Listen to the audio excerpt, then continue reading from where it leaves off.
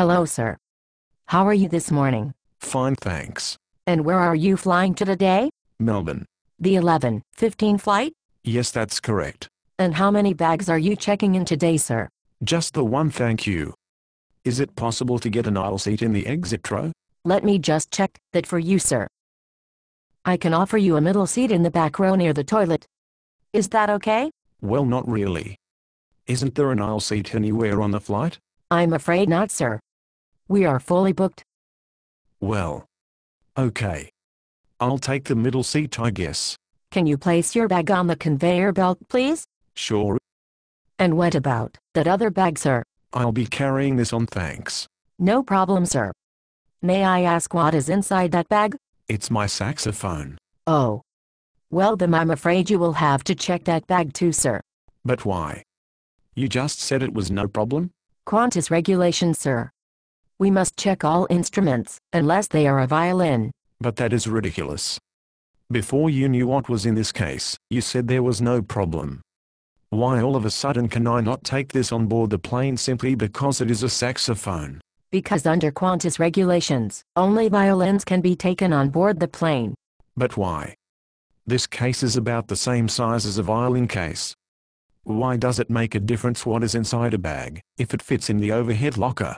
That bag will not fit in the overhead locker, sir. Yes it will.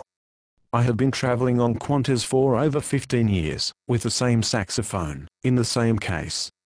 Why all of a sudden do I have a problem taking this case on the plane? Qantas regulations, sir. Qantas regulations, sir, is not an answer. I need a reason why I can't take my saxophone on board. Do you think I'm going to take it out and start practicing my scales as loud as I can? Do you think I'm going to blast a solo on giant steps right into the pilot's ears? Or do you just hate jazz musicians? It is too large to fit in the overhead compartment, sir. No it isn't damn it. I can't believe this. You need to give me a reason why I cannot take my saxophone on board.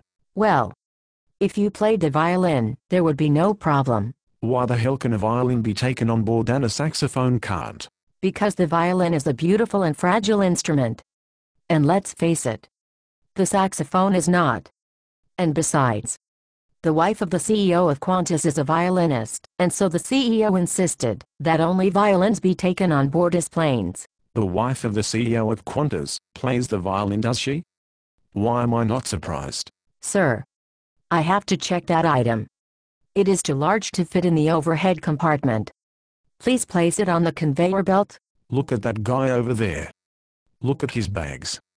He's got a carry-on suitcase, a suit bag, a backpack and a large coat. That stuff is twice the size of my saxophone. Why the hell can he take that on board and I can't? Those bags comply with Qantas regulations, sir. What if he had a clarinet in one of those bags? Would that comply with Qantas regulations? Um? Well. Um? Those bags are within Qantas regulations, sir. I bet if there was a bomb in one of those bags it would not comply with Qantas regulations. What was that, sir? Nothing. Nothing. Do I need to call security, sir? No, no, no, I was joking. Sir. Your flight is leaving in 20 minutes. I have to check that item or you will miss the flight. Fine. Check it then. But if my horn gets busted, I'll sue. Qantas takes no responsibility for lost or broken items. Damn it. This gig ain't even worth this shit. Here is your boarding pass, sir. You're in row 53 in a middle seat. Have a lovely flight.